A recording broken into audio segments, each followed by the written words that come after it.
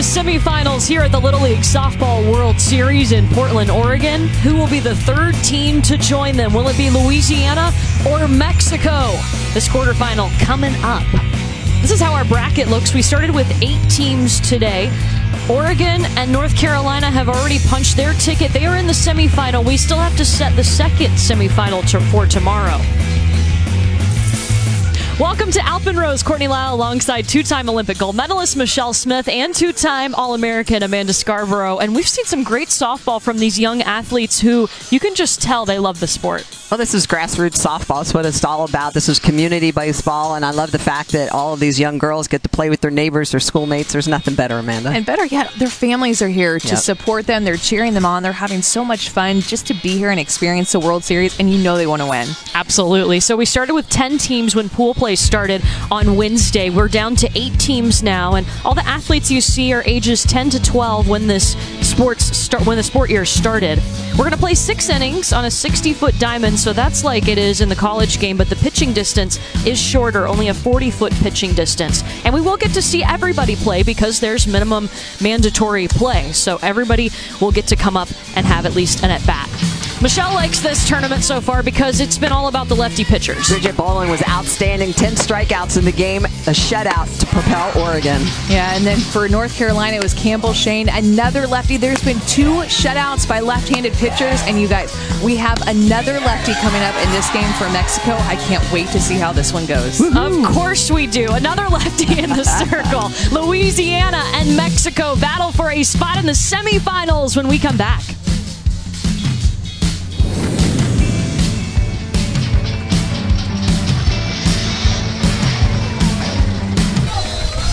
Getting set for this quarterfinal here in Portland, Oregon. Winner going on to the semifinals between Louisiana and Mexico. And getting to know this Mexico team, there's a lot of personality and energy on the field and in the stands, Chris Budden. Yeah, Courtney, if you're looking for a spot to sit over by the Team Mexico fans is the place to be. They love to have fun. They love to chant. They came out with their signs and their Mexico flags. And the girls on this team have been having a blast. When you watch them off the field, they're trading pins with the other American teams. They're getting them to sign their books. They little questionnaires that they had other friends uh, fill out. And if you ever get a peek into the dugout, they are always dancing. This Mexico team, so much fun to watch. Yeah, when we talked to the coaches, they told us about every player. Oh, she's always dancing. She likes to laugh. That was like about every player on this Mexico team. And also strong. Yes, very strong and happy. For Louisiana, this is the lineup that Mexico will be facing. Now they're led off by Haley Peterson, who you know casually hit for the cycle in pool play in one of her pool play games this She week. not only hit for the cycle, Courtney, she hit for the cycle plus an extra home run. So she's hit two out of the park home runs in this tournament, seven hits total, six RBI. And in the circle for Mexico, Jenny Robledo has carried this Mexico team. Well, Robledo's going to be that third lefty of the day that we get to see here. She likes to work that curveball as most lefties do. She's got a fastball and a slider is kind of what the coaches call, but it's it's a curveball. It's going to move away. But I love the fact that she is a good all-around athlete. She's got a good arm. She's a fast runner, and guess what? She wants to someday hopefully play NCAA softball in the states. How about that? I love it that these young ladies, no matter what country from there are, they're dreaming, dreaming for bigger and better things. Yeah, you saw there her favorite player, Monica Abbott. First pitch strike from Jenny Robledo to Haley Peterson.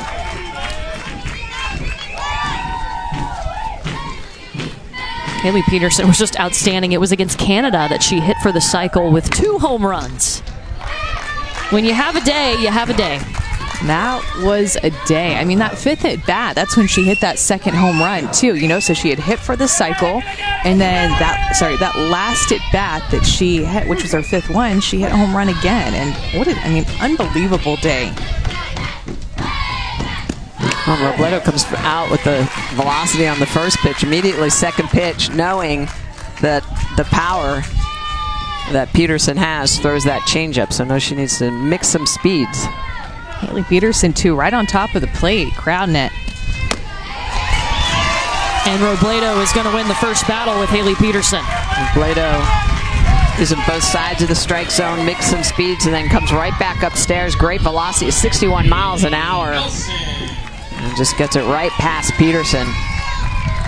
good battle. Power versus power. Bailey Nelson is the catcher for Louisiana. Takes a first swing at the pitch from Robledo.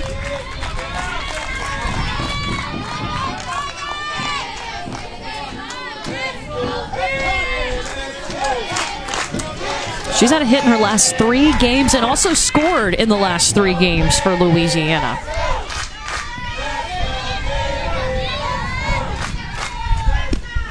And this Louisiana team was unfortunately earlier on in the tournament no hit by a lefty in Campbell Shane for North Carolina. So they've seen a couple of lefties in this tournament already. Looking for them having that experience against Campbell Shane to be able to make some adjustments against Jenny Robledo.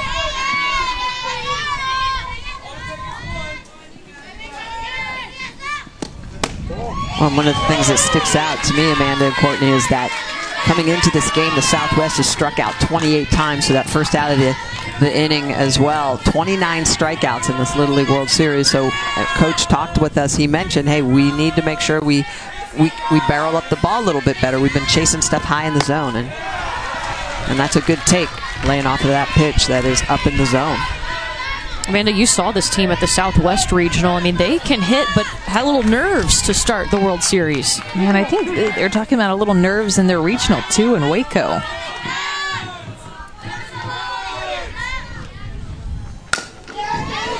Nelson reaches for it. Vasquez makes the toss. Two down. Yeah, they really felt like this was one of the better power hitting teams that they've had, and they thought that in state Whenever they were able to, to win state and then make it to regionals, but then once they made it to regionals, that the nerves started to kick in. And it hasn't, Coach Weindel, the the manager for Louisiana, hasn't quite seen that that same offensive team here in Portland or also in Waco.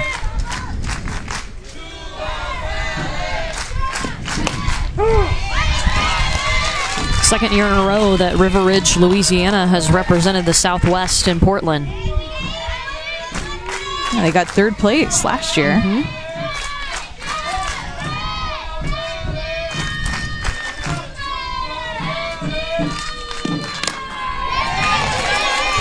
Robledo ahead 0-2 on Kayla Giardina.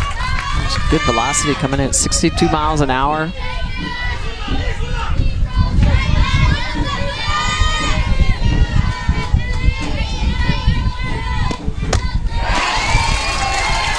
Two strikeouts in this inning for Jenny Robledo. Scoreless as we go to the bottom of the first.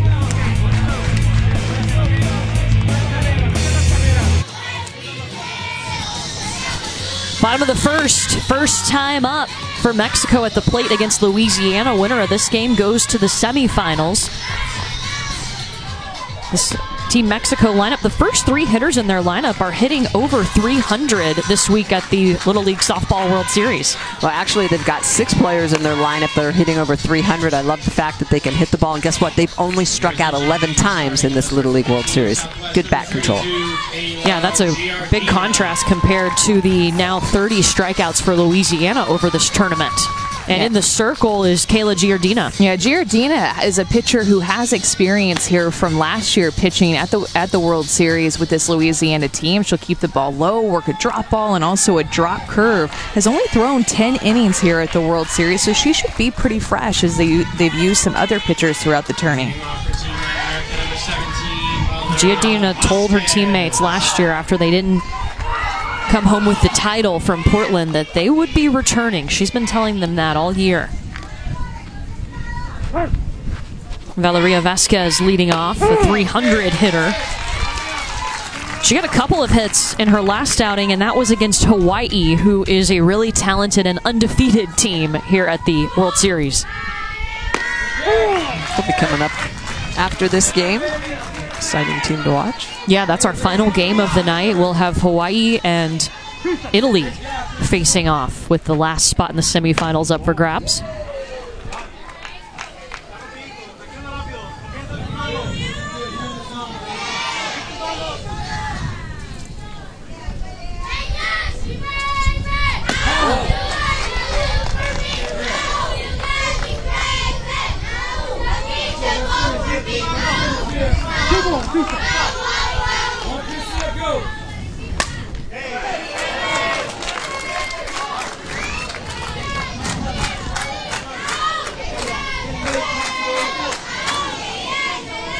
Mexico has certainly been the liveliest in the dugout. You can hear him chanting right now for Valeria Vasquez.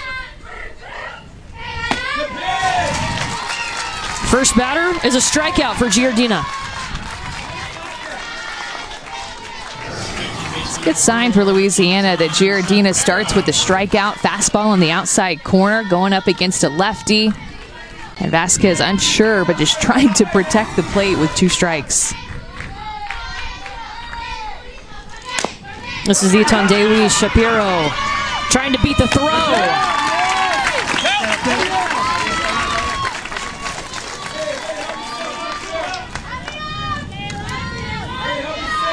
up to bat number 14, Jenny Robledo. Igor Shapiro is the manager of Team Mexico. His daughter was the one that was just at the plate. This is Jenny Robledo stepping in now. This team is out of Mexico City. The first time a Little League team from Mexico City has made the World Series since 1998. Robledo lays down a hit. And he gets away from Katie Delat. Robledo slid so hard the base flew off. Oh, she's going to put it back down. That'll be a single and an error on the left fielder. Oh, I love the way that she goes with this pitch on the outside corner. Doesn't try to pull it, just going to slice it right down that left field line. Gets it inside of the foul and chalk line and advances to second base on the miscue.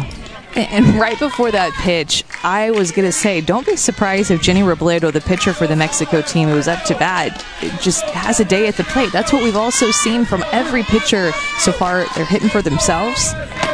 And they're finding a way to contribute not only in the circle and defensively for their team, but finding a way to get on base and score runs and do things offensively. Marion Hernandez with a runner in scoring position and two outs.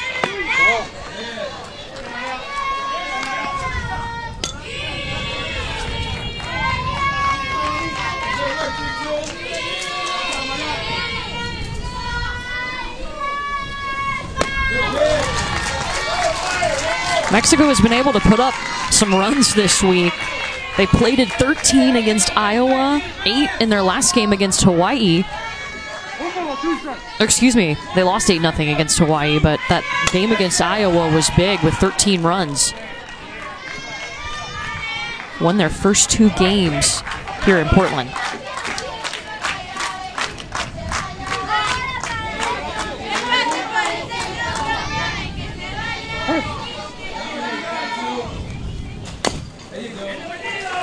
A good changeup from Giardina. Pitch that, in my mind, going up against Mexico, a team that doesn't strike out a lot, puts the ball in play. She's going to have to have that pitch to keep them off balance.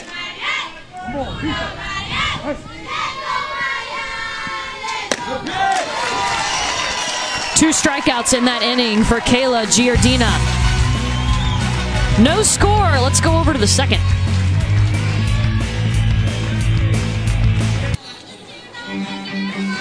We've had some big moments today in the quarterfinals here at the Little League Softball World Series. Bridget Bowling of Oregon, 10 strikeouts in that 2 0 win over Pennsylvania to send Oregon to the semifinals. But I really personally loved how the team from North Carolina came out so aggressive, and Lauren Vanderpool got them off right with an inside the park home run.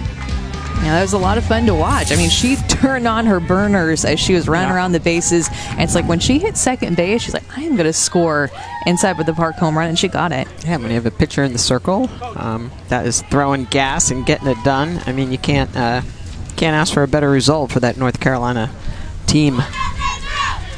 Who's undefeated. Yeah, Campbell Shane was just uh, smoking the ball. Twelve strikeouts. Yep. Wow. Second inning, number 29. 5 and 0 now. Yeah.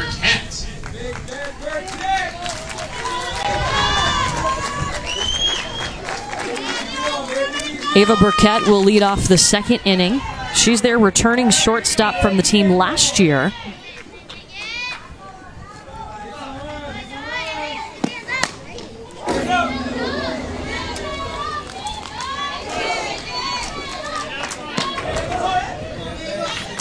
You know, all these players fill out these questionnaires for us so we can get to know them a little bit better. And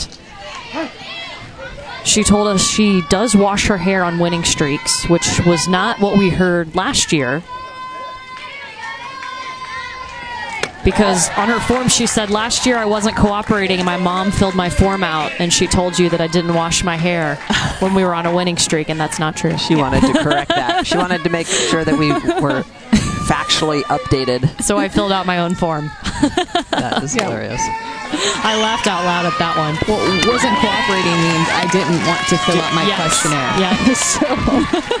So mom filled it out for me, and look what happens when I don't take responsibility and do it myself. Exactly.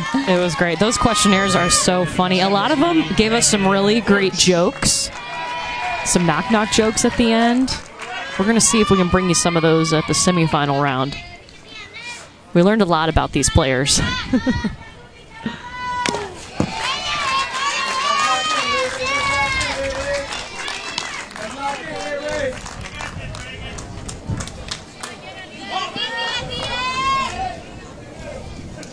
This is Reagan Porsche.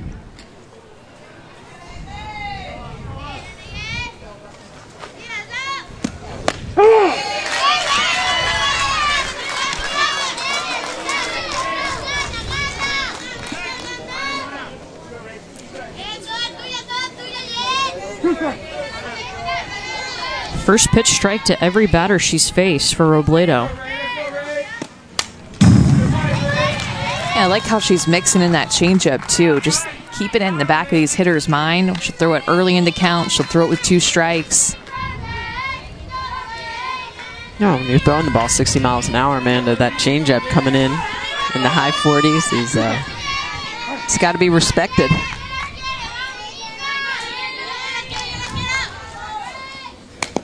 There it is again. Yeah. And so she started playing baseball, Jenny Robledo did, and then she made the transition to softball and started pitching when she was seven years old with her pitching coach, Alejandro. Still works with her to this day.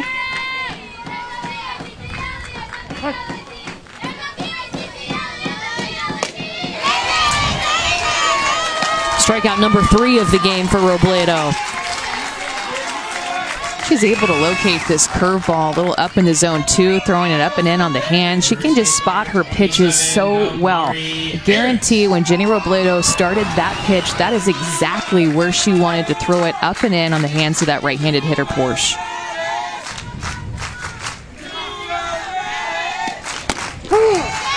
This is Damari Harris at the plate. She is listed at 5'11 at 13 years old. They use her to pitch, they use her at first base. She loves softball so much. That one's bobbled by Hernandez, and the throw is off target. Harris going to second.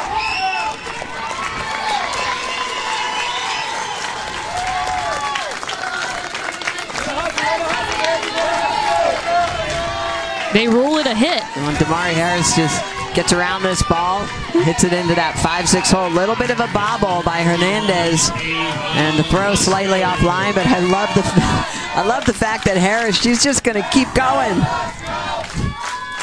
So she gets a single and advanced to second on the throwing error at third. Yeah, Damari saw that ball down, Michelle, and she didn't even look to see where it was behind the first baseman. She just was like, I'm going to go to I'm second going. right now. exactly. Let's see if Ava Lesko can help her out.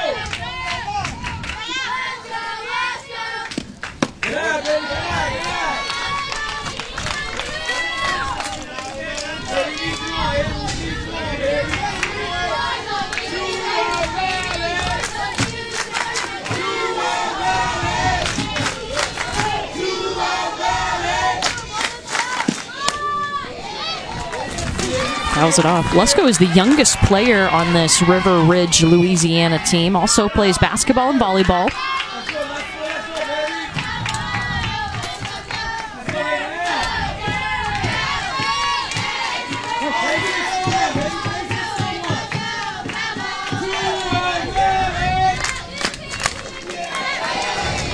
It's a good swing. Really good swing. Hitters count. She Yeah. was ready. And Robledo's been really driving that pitch inside underneath the hands of righties. That one was a little bit more over the over the plate. It's the pitch you have to attack and barrel up. See if she goes back underneath the hands.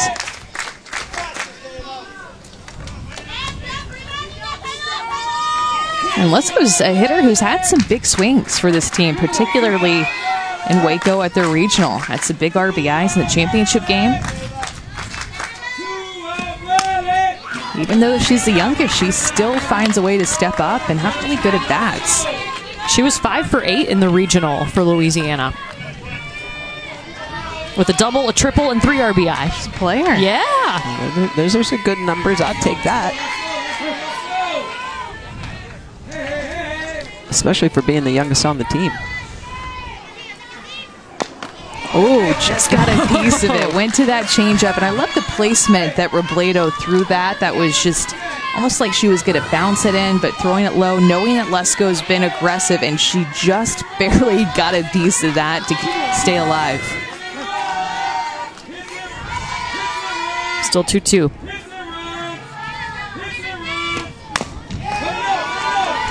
Hops a couple of times to Vasquez. A good battle at the plate, but Louisiana will leave a runner in scoring position. No score here in this quarterfinal at Alpenrose.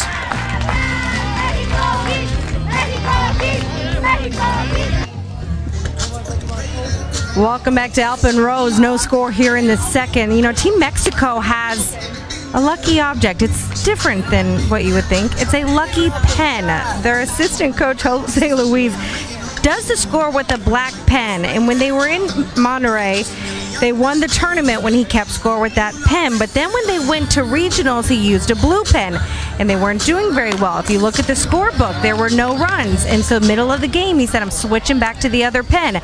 That's when all the runs started to come in. So he told the girls, Don't worry, I switched back to the old pen.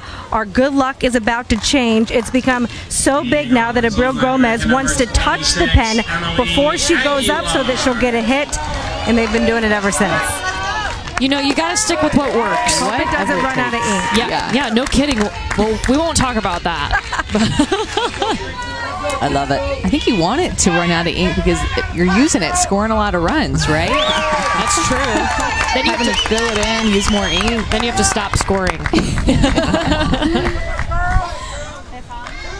That's my probably my favorite superstition that the teams have told us this year. Mm-hmm. The lucky pen. You know, it's surprising when looking at the stats of Mexico for this week. They've given up the same amount of runs that they've scored. So opponents have scored 16 runs against them, and they've scored 16 runs in this tournament. Drop third strike. I thought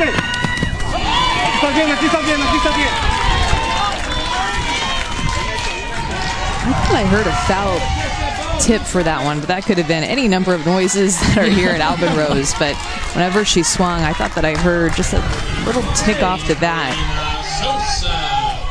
May have gone off the plate. It's a tough play, tough throw for Nelson, the catcher, to get it down to Damari Harris. But really good job at backing up by Reagan Porsche. Out in right field. Ball bag backup. I like to say it all the time on these Little League broadcasts. Applies to college too. well, because sometimes people are like, "There's no fan in there." That doesn't. That's not ball bag. Be a fan and watch Yep. what's going on. It's ball bag and back up. Triple B. Carolina Sosa has a runner on now. Thanks to that. Drop third strike, run out. Only eight of the ten teams who made it here to Portland have made it to the bracket portion of the tournament after four games in pool play. It's a great job by Bailey Nelson, the catcher for this Louisiana team, keeping that ball in front, textbook block, moving her body in front of that changeup.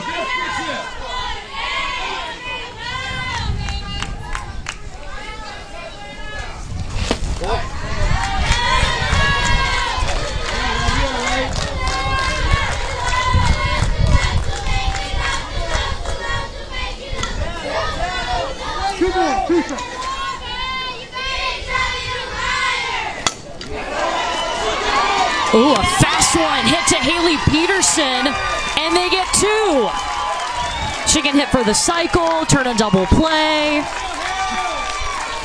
And this is all about positioning, and Haley Peterson is right where she needs to be. This ball linered right at her. Presence of mind to pick it up and know exactly after making that catch, she's going to go back to her first baseman, Damari Harris, who is covering. Nice double play here in the second inning.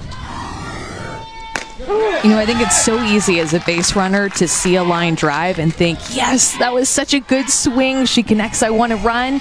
But as a base runner, when you see a line drive less than two outs, you have to freeze. Maria Jose Olea. It's going to be fast. They do get her. Ava Burkett with a quick throw. Scoreless at Alpenrose.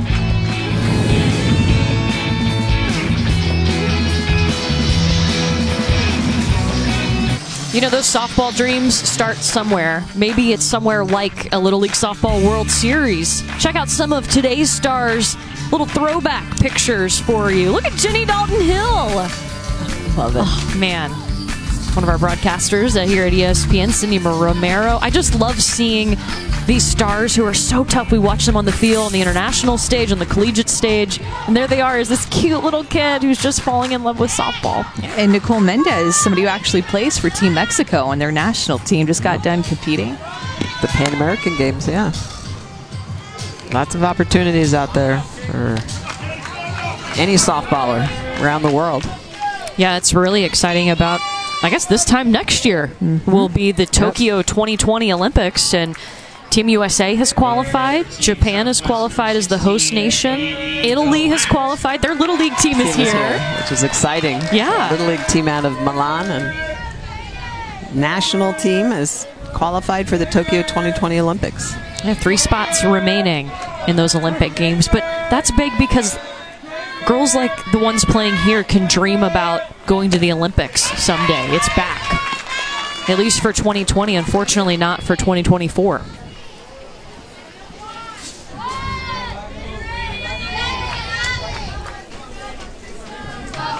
Here's Katie Delat getting her first look at Jenny Robledo.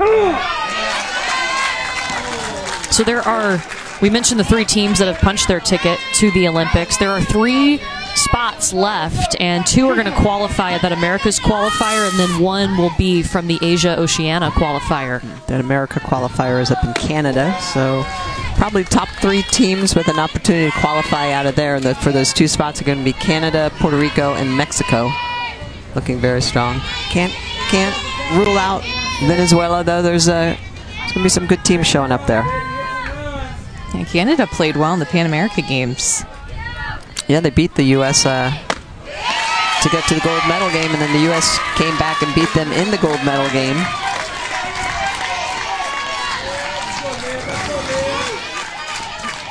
Another strikeout by the lefty. High heat up in the zone. And this is what Coach Ray talked about a little bit with his team out of Louisiana, wanting them to lie, lay off the high pitches. But, Amanda, you know what it's like. It looks that so ball get, that gets up in your eyes, and it's hard not to swing. I, people ask me all the time, how do you how do you hit the high ball or how do you hit the rise ball? I'm like, don't swing at it. that had to, honestly, that had to be my um, my approach when I was in the box because I was not a good rise ball hitter. You know, it, I think you're so much more tempted to swing at it because it's closer to your eyes, it's closer to where your hands are, so you think it's right there. I just want to hit it, but then not oftentimes good results come out of that. Olivia Bourgeois with a big cut. Beautiful changeup within this at bat that Robledo threw for a strike, too, a looking strike.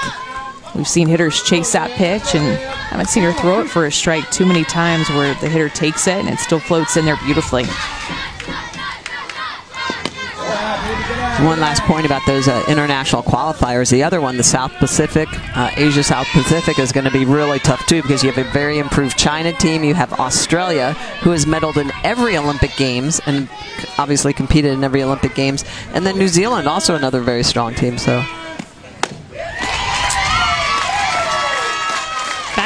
Back to back K's, number five for Robledo.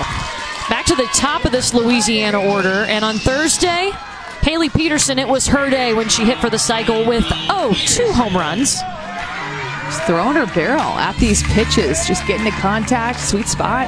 Well, and you know what's amazing too is that that's a cycle with two home runs. So obviously it's the five at bats in a six inning game. Yeah, Yeah. it's true. I mean, it's hard to do that in a nine inning game. It's so in true. baseball, right? Peterson, a slow roller to Vasquez. Maria Jose Olea does a nice job of stretching out for it. No score still in this quarterfinal. It's a good stretch by Maria Jose Olea to go up and get this one and get that all important third out.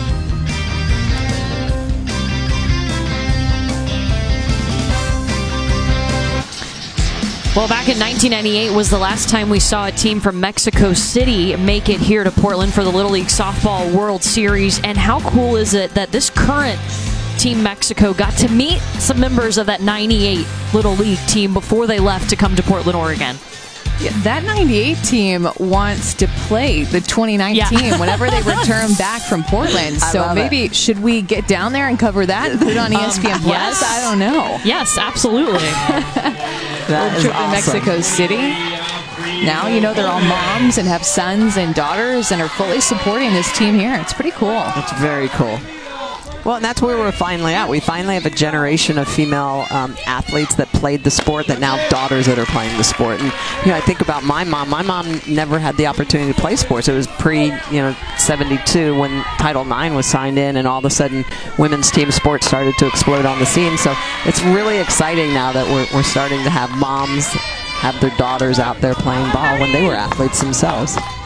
It was so cool. They got the chance to meet at a baseball game that was being played in Mexico City. Yeah, There was a reporter in Mexico City that did something about this team, and somehow the reporter got the 98 team involved and got them to meet before that first pitch that you're talking about. That is so cool to me. Wow. Abril Gomez will take a seat. Number four for Kayla Giardina. Well, the journey to the Little League World Series starts in T-ball. Visit littleleague.org slash T-ball to learn how to give the youngest Little Leaguers the opportunity to have fun and learn the game. I don't know if you could play T-ball just yet, buddy. Three years away. yeah.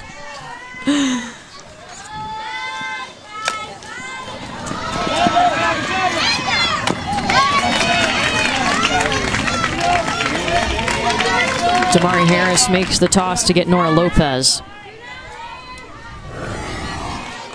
The shortstop, number 17. Damari Harris is going to come in. I love the fact that she immediately comes in, gets the ball, bobbles it a little bit, but she waits for Haley Peterson to come over, tag uh, to, uh, to to be able to tag the base or make that play. Uh, a little bit of a. I like to say use a dart throw when you're that mm-hmm. close because it's easy to throw it past your teammate, but they get the job done. Very good execution. We've seen really good bunt defenses here. Yes. They've, they've covered a bunt very well. Good And- throws, good and bunting. and bunting too. Yep. Valeria Vasquez. Lesko's throw is low, but it's scooped by Harris. Louisiana takes care of three. We're moving on.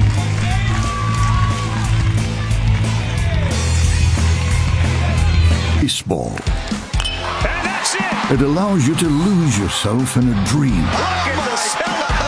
To feel and remember a season of life when summer lasted forever. Have fun playing baseball. It's never going to be any better than this. Little League Baseball World Series takes over Williamsport Thursday at 1 p.m. Eastern. You can catch the action on ESPN. Of course, you can see all the games on the app. We're going to see Team Italy in our final quarterfinal. Little pregame meal, traditional ballpark food.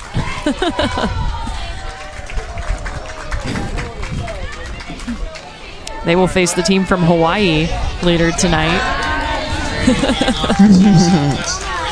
The concession stand is stacked here. Yes. Ice cream, hamburgers, hot dogs. Good eats. Did you eat anything specific before you guys played? Did you have a, or did you not eat? I was more likely to not eat. N- not like the whole day or something, Right. but to eat like right before the game. Yeah, I usually ate about four hours ahead of time. Yeah. This is Ava Palumbo, who's coming to pinch hit for Louisiana. Remember, we have minimum mandatory play, so everybody gets to play. So you're going to start seeing a lot of substitutions at this point in the game.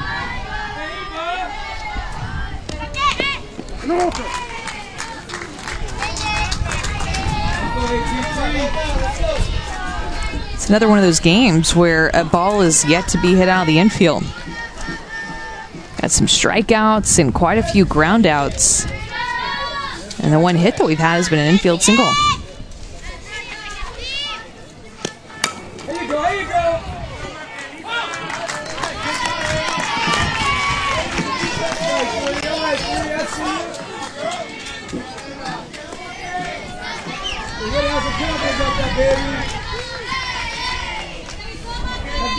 Coaches told us that Ava Palumbo is the fastest on the team, plays basketball and runs track. Lopez did a nice job of grabbing that one behind the plate.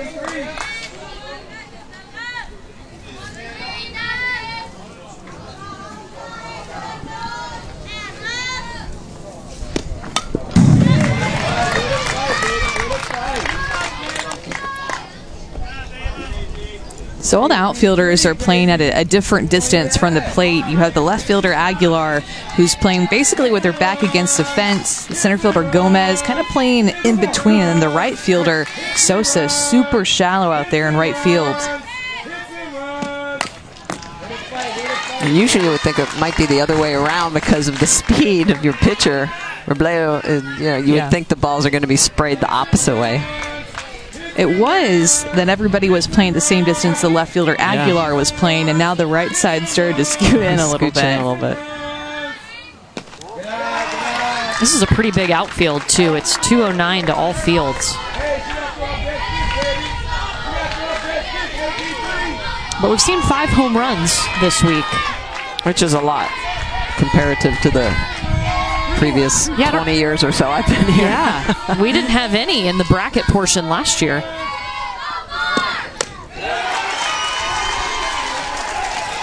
Ball four. And Palumbo will take her base. The first walk by Robledo today. It's a really good at bat, coming in to be a pinch hitter, going up against a pitcher like Jenny Robledo, seeing a lot of pitches, working the count, and then finding a way on to lead off the inning for your team.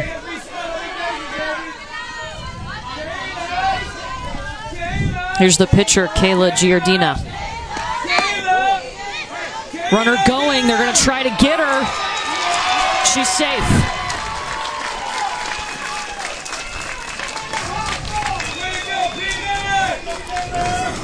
Nora Lopez behind the dish gets a nice throw down, but you gotta love the turnover rate. Look at the way she gets into the bag. Tag is a little bit short. She's definitely the fastest, one of the fastest on the team. Lopez has been able to pick off a couple of runners in this tournament. Opponents are now six of eight on the base paths against Mexico.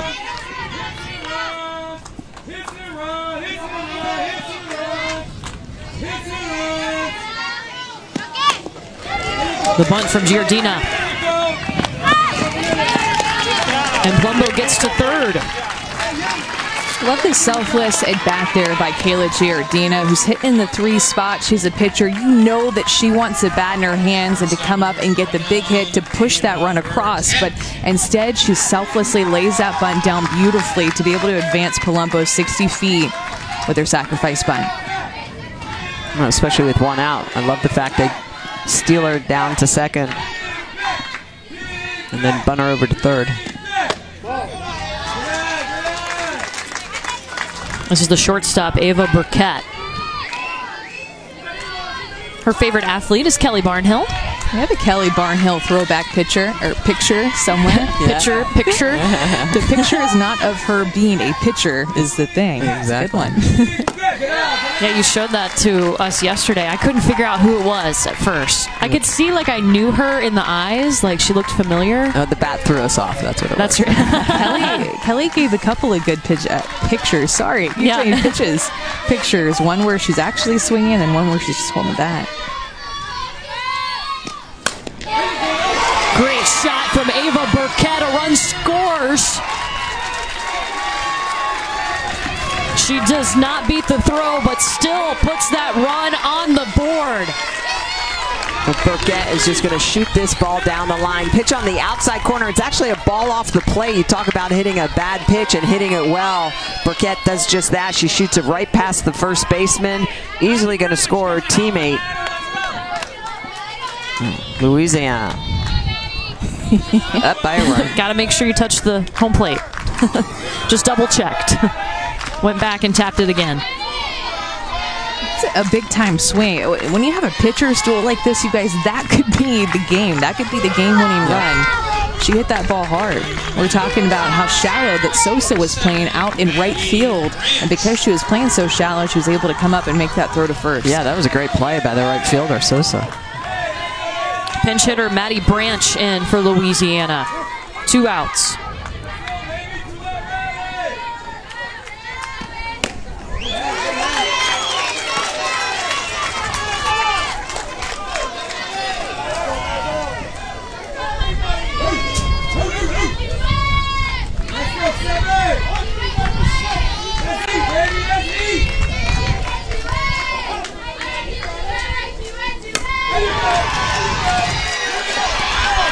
Vasquez all over it.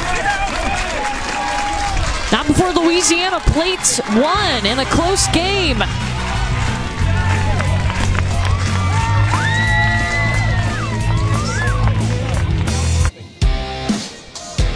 Here's how the bracket looks right now at Portland, Oregon at the Little League Softball World Series. Oregon and North Carolina will be our first semifinal tomorrow at 7 Eastern on E ESPN2. Who will be in our second? Louisiana's got a 1 0 lead over Mexico right now. So we move over to the bottom of the fourth inning, and it's been really close. Lots of young fans coming out to watch. It's so neat to see. I've been talking to some of the the kids in the stands. They're from Oregon. They're from around here. You know, they're supporting their their brothers and sisters on some of these teams. Watching. Some of them don't have any ties, but they just want to come out and watch softball.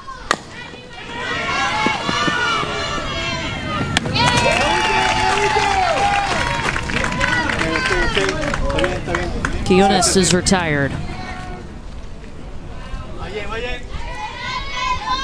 Pitcher, number 14, Jenny Robledo. Now we go pitcher versus pitcher as Jenny Robledo steps in. She got a single and advanced to second on an error in the first.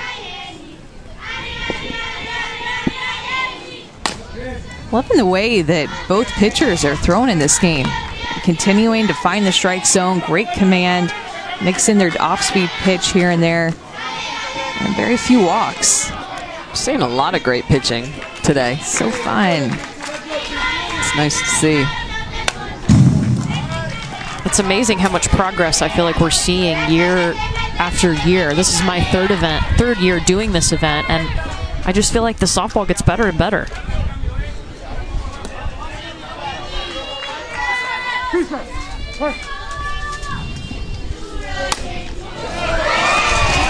Robledo with her second hit, and it's still rolling. Looking for two.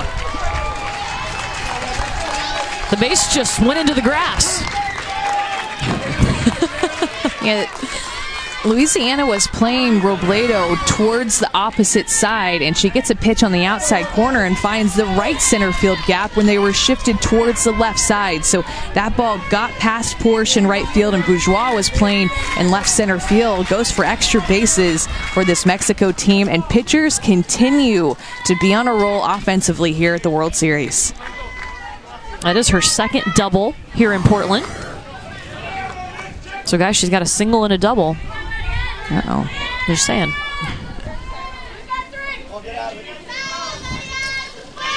Gotta make sure that base is in there a little deeper. All right. On it.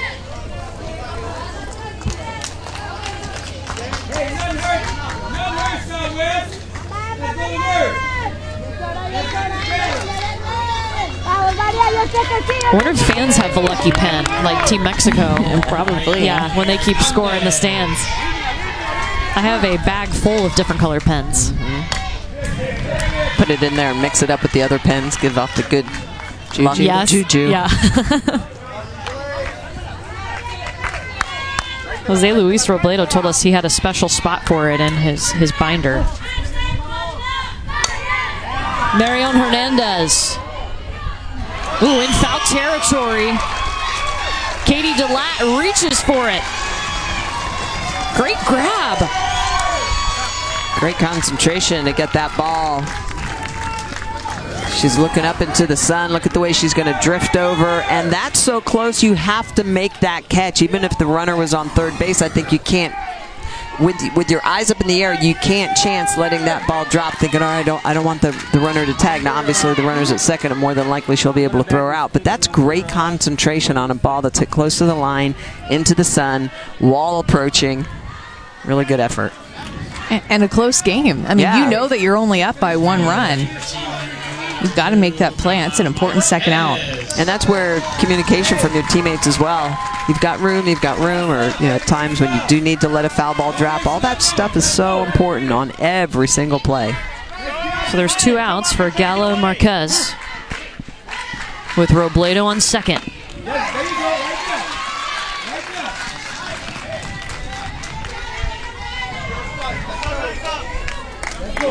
She's got one hit this week. It was against Iowa.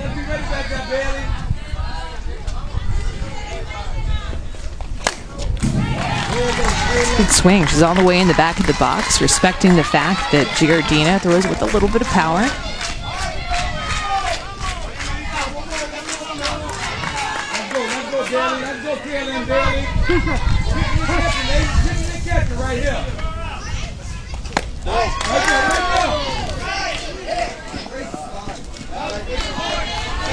Bailey Nelson gonna run out there, make sure nobody's advancing 60 feet on her call.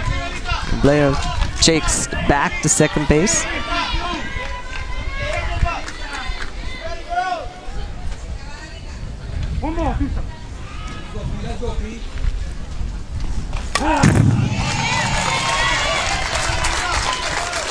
Count stays a ball and two strikes.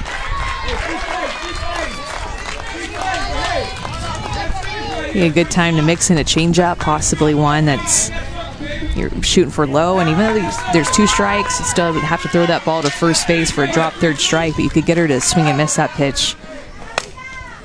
We're up in the zone, and Marquez is getting her, getting her barrel to some of these pitches that are up in the zone. Even on that one, she was shaking her hand a little bit because you could tell that she got jammed. Battling.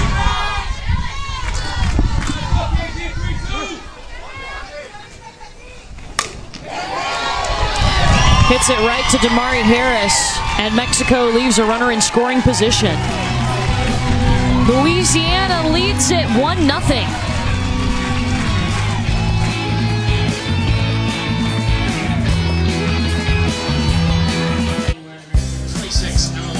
Such a unique site for the Little League Softball World Series. Alpenrose Dairy. It is a working dairy farm.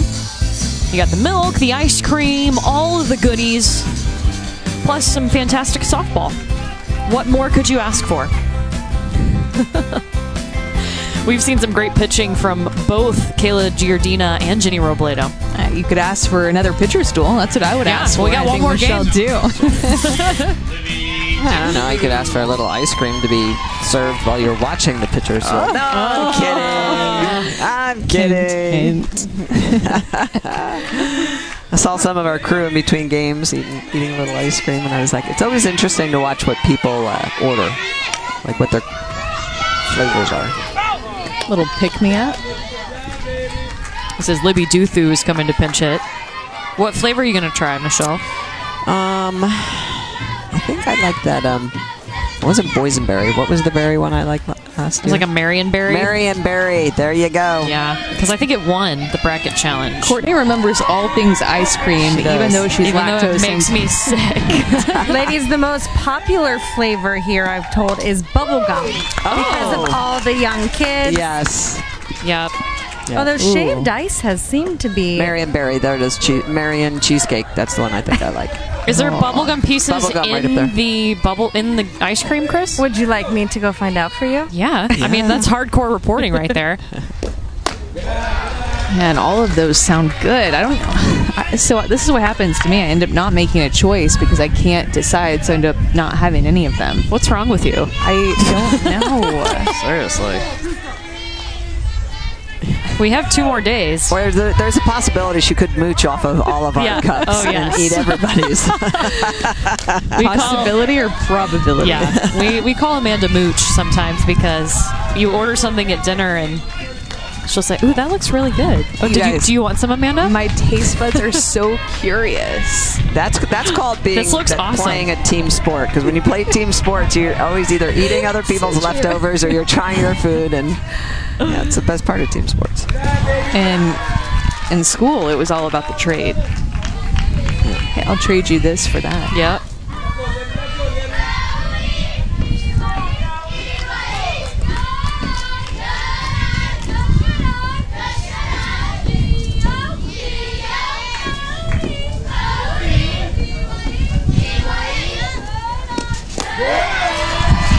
Three balls, two strikes to Libby Duthu.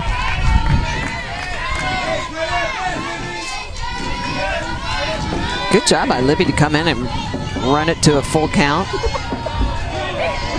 Trying to make something happen here in this fifth inning. The double scoop. Strikeout for Robledo, number six. You know, both the pinch hitters who've stepped in, it was Palumbo earlier and now Duthu, were smaller in stature, and it's like Robledo had a hard time finding the bottom of the zone, but full count, and she finds it right at the knees for a looking strikeout. Here's Ava Lusko. She ended up grounding out to the shortstop, but she had a really good battle with Robledo back in that second inning.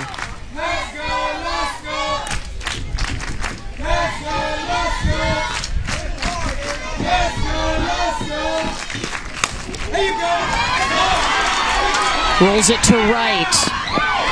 And the throw pulls Jose Olea off the bag. So let's go safe. Guess now we know why Carolina is Sosa out there in right field is playing That's so close to first base, Michelle. Good job at getting this immediately, throwing it in. Had a chance. If that throw was a little bit lower, may have had a chance to record the out. It would have been her second nine to three put out. Nice arm out there and right. Louisiana is going to use a special pinch runner. Ava Palumbo. They get two special pinch runners per game. You can only use one per inning. Special pitch runner number three, Ava Palumbo. Entering in batting for Team Southwest number eight, Claire. Claire Murphy will be the pinch hitter now with Palumbo on first.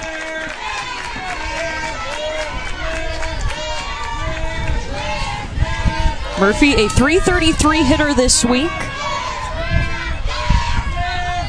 First hit came against Italy. Little RBI single.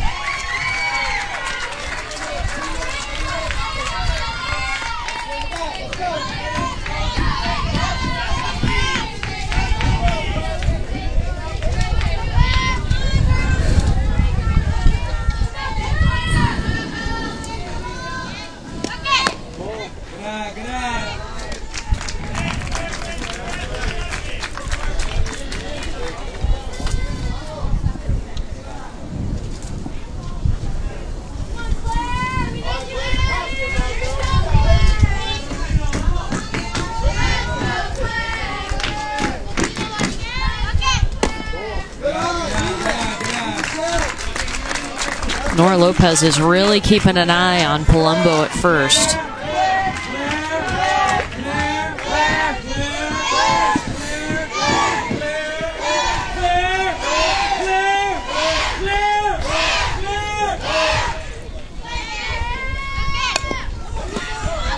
Louisiana fans are getting a little, yeah. little fired up and got the lead, and they were like, all right, let's go. Cheering on Claire. Claire has her own cheer and it, it's easy. You just say clear. Louder and louder. Oh, here we go.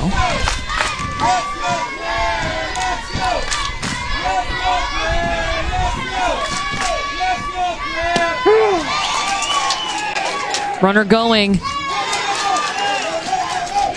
And she, Palumbo slid in, and the base came off, so she was holding on to it as it was moving.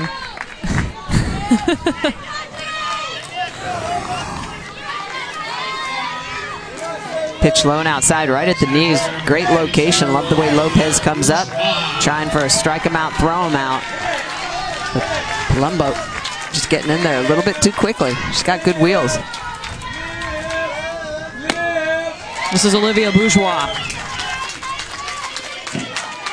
Two outs and Palumbo in scoring position.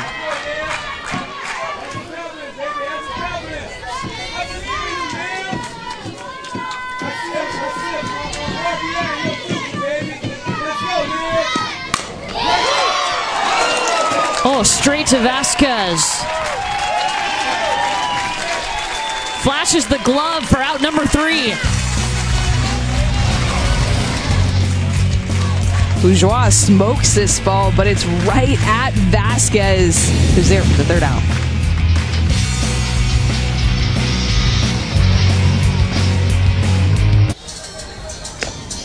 Welcome back to Portland. Louisiana leads at 1 0 here in the bottom of the fifth. And this Louisiana team says they are the closest that they've ever been and that their team chemistry is fantastic, which is why they've gotten this far. But it's thanks to Mother Nature. During their state tournament, Hurricane Barry rolled through, so they were forced to stay in the hotel for two whole days. So, what do you do when you're stuck in a hotel? Well, luckily, you have a bunch of friends to hang out with, and because of that, they kind of developed this close knit group. Chris, I thought it was hilarious that Ray Windell, the manager, told us, you know, when it was just raining outside and it wasn't lightning, he said, All right, guys, we're going to go practice catching wet balls and working in the rain. Isn't that awesome? Yeah. 50 mile an hour winds blowing, and Coach Windell said this is great practice time. Why does that not surprise me? He- but he was like, hey, he's like, we had fun. We had a blast. It was better than sitting in a hotel. I'm like, yeah. That's definitely, that's like a Florida, Louisiana type mentality Yeah. that you're like, eh, hurricane, that's all right. Yeah. Let- let Hurricane party. Exactly. Just, we're going to go out and play some ball in the middle of it. But it does bring up a good point. You're going to fight conditions whenever you're playing an outside sport, like wind, like rain. And you've got to be able to still perform and pitch with a wet ball, throw Yes. with a wet ball, pitch against the wind. I, I mean, so I, I love the fact that he got them out there. I mean, they didn't have anything else to do, and it wasn't Yeah. lightning, it was just raining. Hey, let's go practice. Yeah, that's the key is the lightning. And so you go out there, and because there's times that you're definitely going to have to throw with a wet ball in a game. And I, I used to do that. I used to practice all the time because in Japan we would literally play in downpours in the professional league over there. I mean, downpours. Like my feet would the, the water would be above my ankles Oh my gosh. because I needed to get the game in.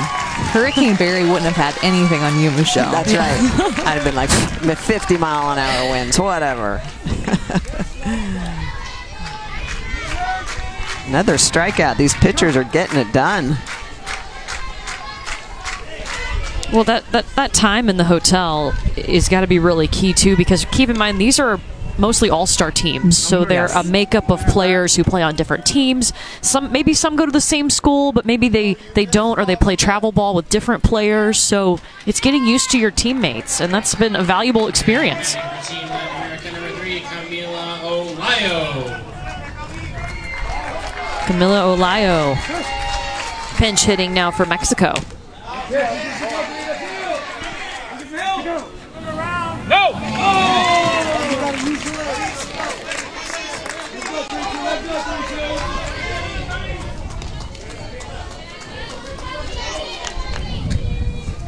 And Kayla Giardina just continues to pound the strike zone, throwing a lot of strikes. Coming into this inning, she had only thrown eight balls the entire game. And now it's just 11.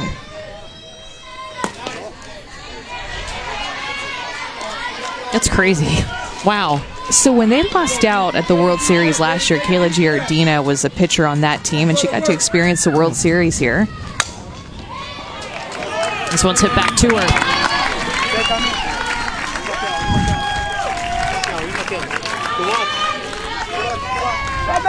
The journey to the Little League World Series starts in T-ball. You can visit littleleague.org slash T-ball to learn how to give the youngest Little Leaguers the opportunity to have fun and learn the game. And she told her dad, Kayla Giardina, after they lost out, that she was determined to get back here. After they lost out, she was right here at this Sam Field here in Portland. She looked at her dad and she's like, Dad, I'm coming back here next year. And not only am I going to come back here next year, but I'm going to throw 60 miles an hour and work so hard. That is my goal. I love it. And she vocalized it. And Yeah. she worked the entire year to get that done. And that's what it takes. You have to be that committed. You have to vocalize it so that everybody holds you accountable. Not just your parents, your teammates, and you're leading your teammates and telling them this is what I expect. And look at the gun, 63 miles an hour. Because you can say that you want something, Yeah. but if you're not going to work for it, then it ain't going to happen. Exactly. And, and it's that leadership that when you're out there working and you're vocalizing it, your teammates hear it and they're like, all right, well, I'm jumping on this train. And, you know, I would do the same thing at the Pro League in Japan. I would tell my Japanese teammates what we were going to do. I want to win a championship. You have to continue to say that. It's so important at any level for people and teams to hear that. Well, little reminders for why it is that you're working because Exactly. it's easy the day after you lose out. All right, I, I know that I'm working to get back to Portland, but during Hurricane Barry, during Christmas time, when you don't really want to go out and practice, like what's your motivation? What's your end goal? What's your end game? What are you working for? So you don't feel like you did last year when you lost that game. Exactly. Giardina feeling pretty good with that strikeout. Number six for her. Two have come in this inning. Giardina seeing it, saying it, getting it done, using all of her pitches. Great location. Louisiana still up.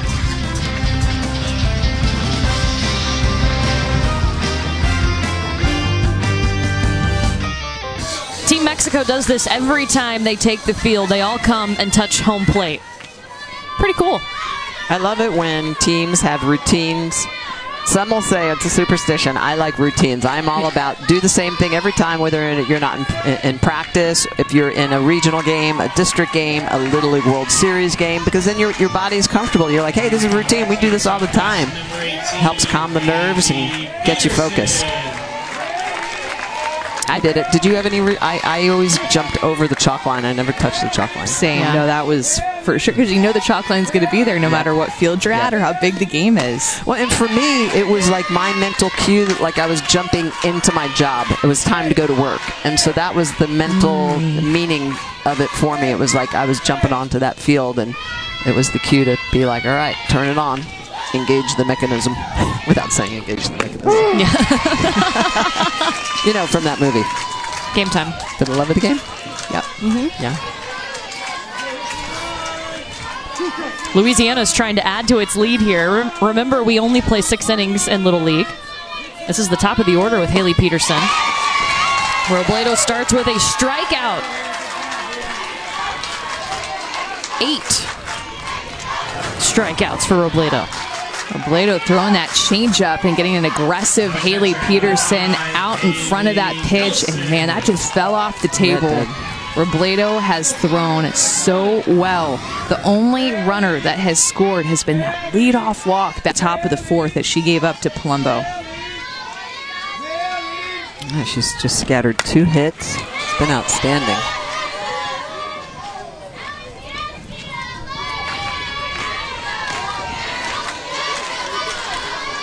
You know, coming into today, she had a tournament high for strikeouts in a game with 12 strikeouts against Iowa. And then, of course, we just saw Campbell Shane get 12 strikeouts. They're the only two pitchers.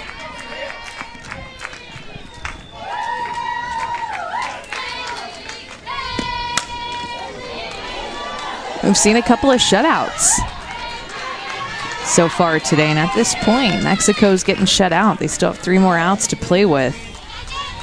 And they'll have 9 1 and 2 coming up in the bottom of the sixth.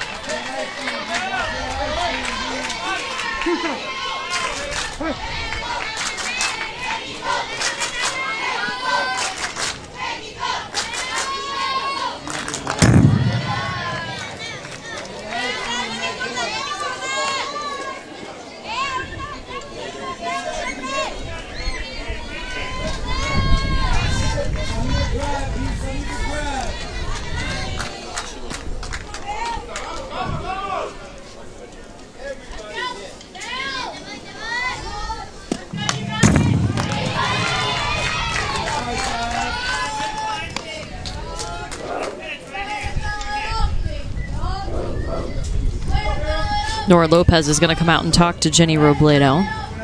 And her dad, Jose Luis, is the one that has the lucky pen, Robledo's dad. Told us she was born in Texas. As you said, Michelle, she wants to come play college softball in the States. which I love. And you know, when you see that from the young girls around the world, we've seen that even with some of the uh, European girls who have come over and played in the U.S. collegiate system. I love it. That's what this game is about. Oh, and Ro- You're out! Robledo took a hard hit in that collision.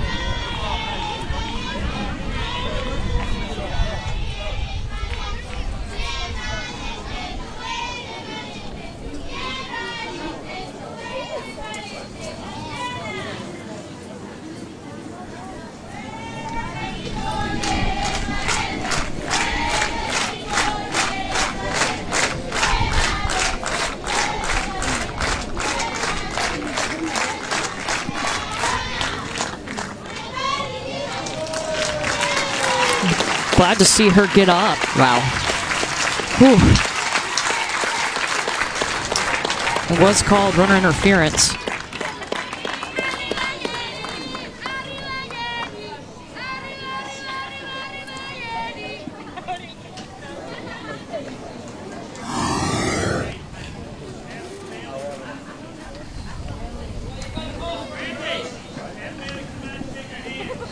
Bailey! Bailey Nelson! Come on, shake the hand real quick. Hurry up, hurry up. Leave that up.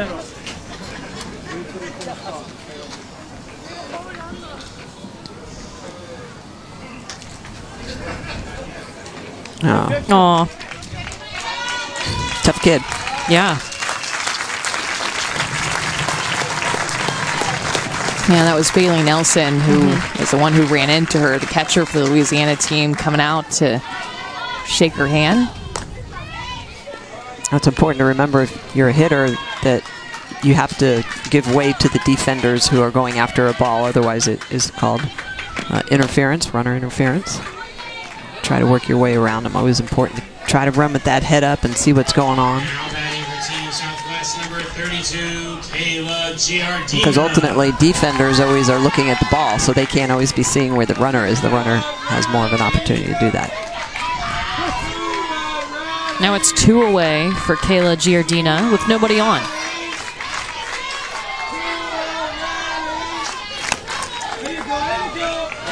Oh, look at the grab!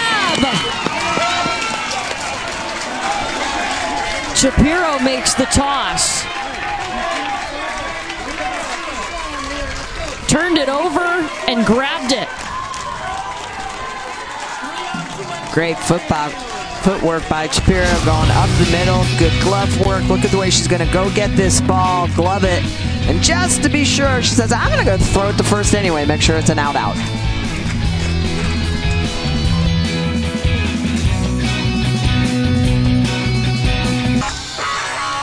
Well, after Monday Night Baseball at Sports Center with Michael Eaves and Zubin Mehenti, they'll break down Orioles Yankees with the Bronx Bombers looking to add to their home run record. Plus, a one on one interview with Saquon Barkley, how he's filling the void Odell Beckham Jr. left behind, and the best matchups of the upcoming NBA season. Sports Center after Red Sox Indians on ESPN, and of course, on the ESPN app. Last chance here for Team Mexico, a spot in the semifinals on the line. Nora Lopez, the number nine hitter. The catcher will lead off against Kayla Giardina, who's been fantastic today for Louisiana. Yeah, She's kept the ball down, worked both sides of the plate at the corners.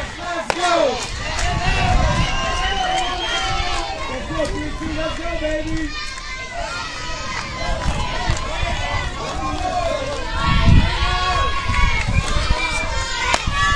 It's all about being able to finish it.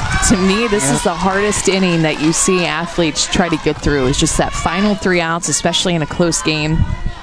Yeah, and a lot of times it's third, possibly fourth time through the lineup. And once Lopez is up, it'll will be third time through the lineup.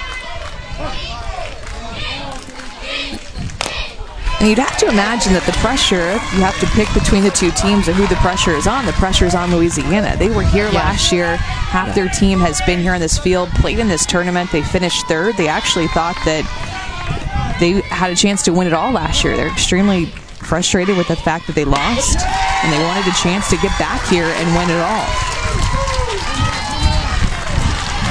Seventh strikeout for Kayla Giardina. It's like a curveball that moves a little bit away from Lopez. Some late break, getting that nine hole and the important leadoff out. Seventh strikeout of the game. It ties her personal best here at the World Series. She did it against Oregon, too. This is Valeria Vasquez back to the top of the order for Mexico.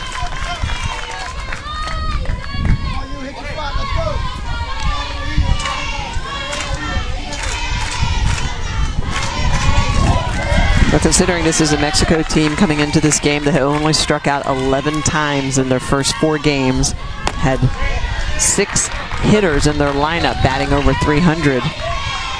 Giardina has done a good job of scattering a couple hits, limiting threats, limiting free passes. That's really the key. That's the difference in the game right now is a leadoff walk that came around to score. And Mexico hasn't gotten a runner to third base Nope. against Giardina and this Louisiana defense. Well, Giardina, she's she's not walked a, a batter, so put those two things together and it's tough to score.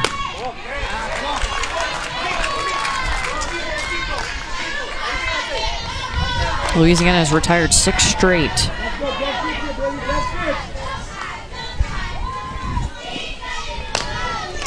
And Louisiana also has been able to use multiple pitchers where Kayla Giardina is coming into this, what, the fifth day of this tournament, and she had only thrown 10 innings.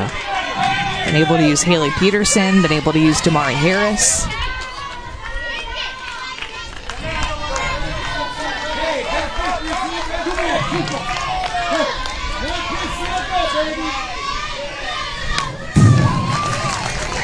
But for Mexico, it just takes someone getting on base. It's giving your team a little bit of hope. And you're at the top of your lineup right now with Vasquez, who has a little bit of power, has a little bit of speed. You know she's going to fight up in the box. She's your leadoff hitter, used to seeing a lot of pitches.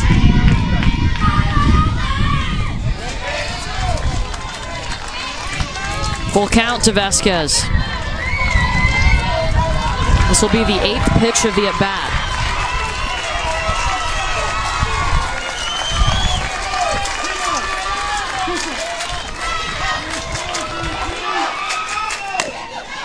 Hits it back to Giardina. Two down. It was a great battle between Vasquez and Giardina in that one.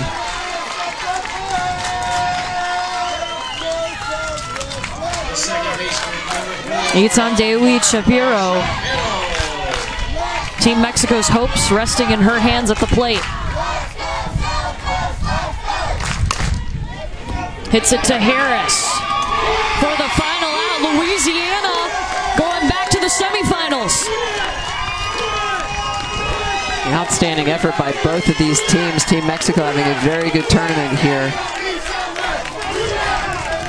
And of course for Louisiana, you could tell they were on a mission after what happened last year, but outstanding effort Louisiana. We're learning in these bracket games, you guys, that there is very little room for error. Whether it's a walk or an error, these games have all been so tight, and the pitchers are stepping up. This is our third shutout of the day so far. So Louisiana is going to take it 1 nothing. Kayla Giardina, just fantastic. Seven strikeouts to help Louisiana move on to the semifinal. They're going to face the winner of our final game. One more game today. Hawaii taking on Italy. That'll be coming up at 10 Eastern on ESPN News. Chris is down on the field with Kayla Giardina. Kayla, fantastic outing for you today. Of all your pitches, what was working for you best? Curveball. Yeah. Did you feel it going into today? Yes, ma'am. I felt loose as soon as the game started, and even if I knew I missed my spot, I knew my defense was going to get it. You were here last year, lost in the semis. What'd you work on over the offseason to get back to this point?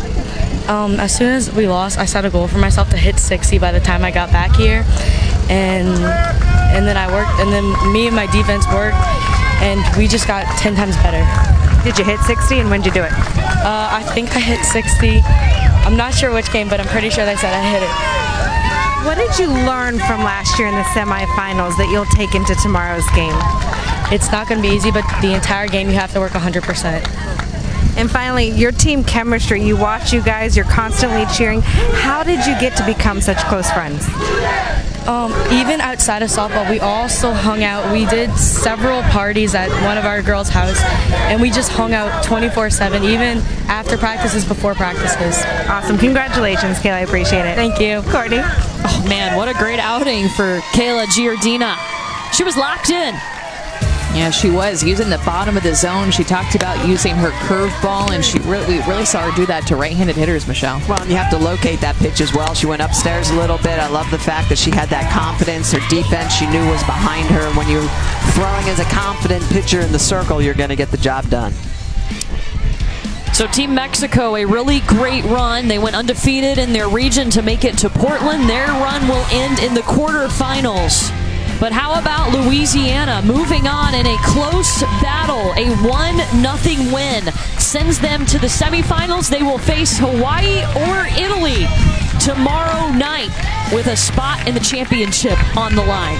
We still have one more game for you. It's coming up at 10 Eastern here on ESPN News. We'll have Hawaii taking on Italy at the Little League Softball World Series.